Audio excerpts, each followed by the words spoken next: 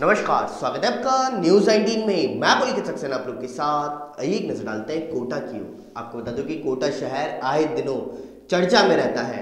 कल एक और मामला कोटा शहर से सामने आया है, जहाँ पर एल एन साफल से बिल्डिंग के बाहर कुछ लड़के झगड़ा करते हुए साफ़ साफ़ नज़र आए हैं। उनमें से एक व्यक्ति के हाथ में चाकू भी देखने को मिला।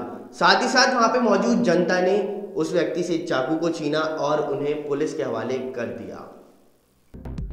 कोटा के दिन आए दिनों में चर्चा में रहने वाले कोटा शहर के एलन की साफल्य बिल्डिंग के पास कुछ लड़के झगड़ा कर रहे थे। इसमें से एक व्यक्ति ने अपनी एक्टिवा में जाकर वहाँ से चाकू निकाला और दूसरे व्यक्ति पर हमला करना चाहा, मगर उसे आसपास के लोगों द्वारा बचा लिया गया एवं पुलिस तुरंत एक्शन में आई और चाकू से डराने वाले शख्स को मौके पर ही जवाहर नगर थाने के बहादुर सिपाहियों ने अपराधी विप्रोजीत मंडल को दबोच लिया।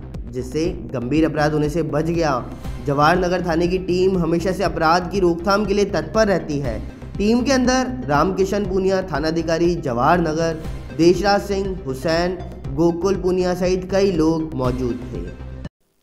इस खबर में सत्ताई देखते रहिए न्यूज़ आई नमस्कार।